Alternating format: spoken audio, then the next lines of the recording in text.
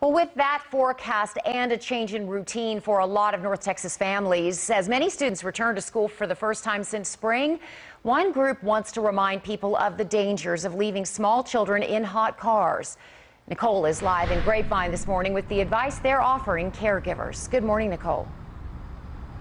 Good morning to you, Karen. This could really become an issue for parents with multiple kids. Perhaps they're helping one with virtual learning, while the younger one is maybe left to play alone for a bit. If they're able to get out of the house on their own or make it inside a locked car on their own, or rather, I should say, an unlocked car on their own, it leaves room for a possible tragedy. Parents have a lot going on nowadays with concerns of the pandemic or maybe trying to figure out how to juggle working from home themselves.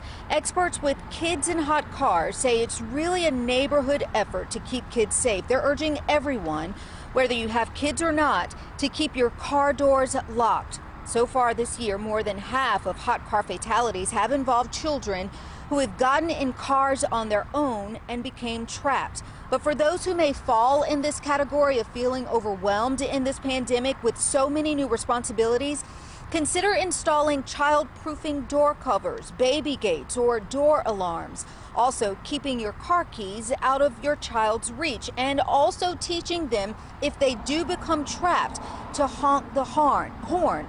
And parents, if your child does get missing, you should check your car immediately, the floorboards, and also the trunk.